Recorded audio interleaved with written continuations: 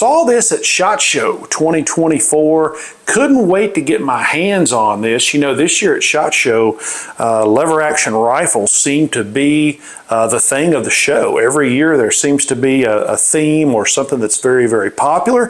This year it was lever action rifles. I've seen them from many, many different companies. This was actually one of my favorite ones I saw, and this is actually manufactured in Turkey. This is for a company called G-Force Arms. Uh, I've reviewed some of the G-Force products in the past. I've got one of their uh, tactical style shotguns. I've also reviewed the G-Force Rapture.